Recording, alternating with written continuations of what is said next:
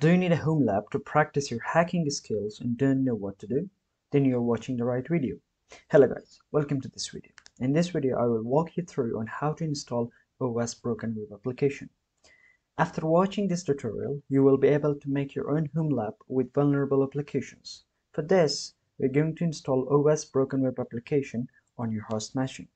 So first of all, what's OWASP Broken Web application? It's a free Linux-based virtual machine that hosts a number of vulnerable web applications. Those applications have serious security issues to help you learn and practice hacking.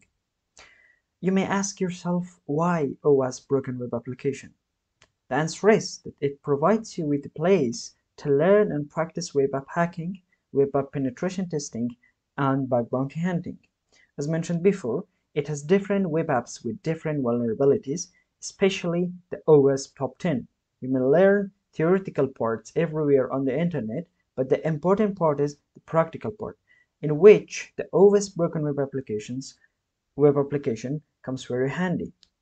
So it will help you uh, or provide you a safe place to practice what you have learned and also keeps you out of jail. So how to install it? The installation process is very easy and I will show you how. First of all, open your favorite web browser and type OWASP broken web application. And then click on the first link which is from the sourceforge.net website. So when you once you have opened the website just click on the download and it will download all the necessary files automatically for you. So it may take some uh, seconds or some minutes depending on your internet connection because it's a big file. It's almost uh, 1.8 gigabytes. So be patient. So I'm done with the download. So now I have to extract it. I'm gonna open it with 7-zip and just extract all the files. Let me choose a new location downloads and the folder. Uh, OWASP broken web application that which I have just created and hit OK. Um, it will extract all the files that are zipped here into the location that that I just specified and we are good to go. So now all the files are being extracted here. What you need to do is just uh, open your sorry let me just oracle come on uh, oracle oracle virtual box. So now I have just Kali Linux installed on this.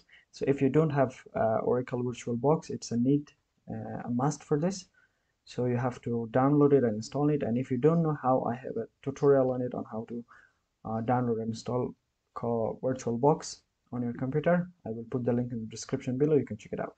So now you just need to click on the new and then the name for the virtual machine that you want. It is uh, OWASP BWAP for me so you can name anything you want. So you can choose the folder where this will be. I'm gonna trigger this PC and I want hosted in the same folder as they call it Linux and just create a new folder for it.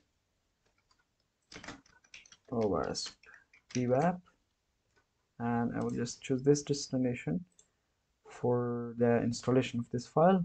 I'm gonna choose Linux and we're gonna choose uh, Debian 64 for it. Yeah. And then click next. Uh, the allocated memory is okay for me. You can it's okay for this machine because it doesn't need too much. Click next. And here be careful to choose to use an existing virtual hard disk file as we have just downloaded it. And so we are gonna add one here and from the OWASP broken web application choose this one the OWASP broken web apps CL1 and hit open and just choose this one and click the choose and we can just create it right now. So now everything is good to go. You just need to start the machine. So now just start the machine. It will start the OWASP broken web application on your virtual box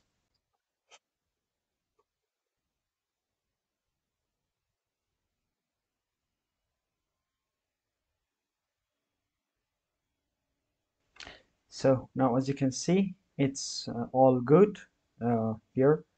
It says as OWASP Broken Web Application version 1.2 so the username and the password is also available here. The username is root and the password is OSBWA there is also uh, a notification from the builders of OWASP Broken Web Application that says this virtual machine has many serious security issues. We strongly recommend that you run it only on the host only or NAT network in the virtual machine settings. So it means that you shouldn't uh, run it on any other interfaces. It just should be on the host only or the NAT network in the virtual machine.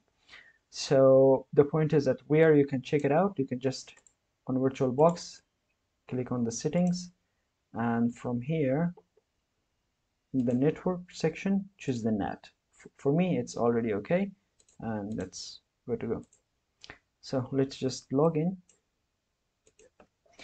Uh, root and the password is OSBWA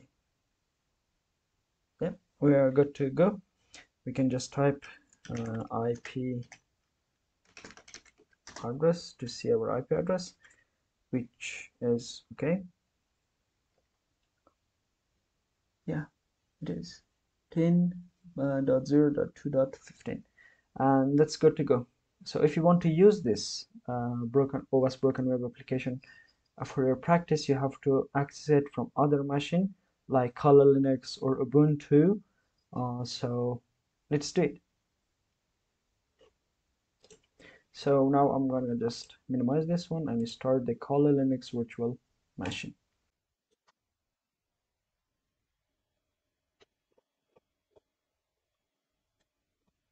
so now the Kali Linux machine is up and the OWASP Broken Web application is also up.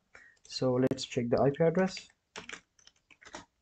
The IP address is 10.0.2.15 so we can access this uh, machine uh, through its IP address on our Kali Linux machine.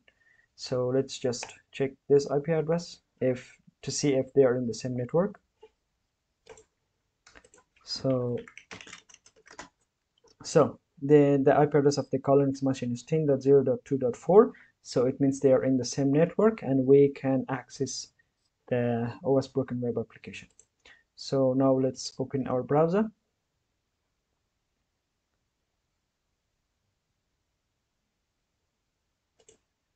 And just type http uh, 10.0.2 sorry dot 2.15 and that's it. So let me just maximize the screen. So now we have full access to the OWASP Broken Web Application project here. So as you can see there are different uh, uh, vulnerable uh, applications like OWASP WebGoat, OWASP BSP, Java Swing, Set Intra interactive. So there are many uh, uh, applications vulnerable applications. Also there are WordPress WordPress web applications that are uh, vulnerable to some specific vulnerabilities. So let's just check this one WebGoat now it will open the open the OWASP WebGoat uh, application vulnerable application. So we can just hit the start WebGoat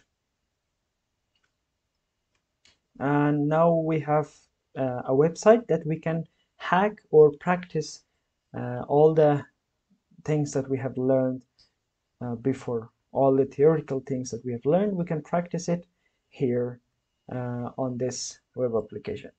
So that was it for this video. I hope you have enjoyed the video and if you do please don't forget to subscribe to the channel hit the like button hit the notification bell to be notified when i upload new video. So have a nice time and see you in the next video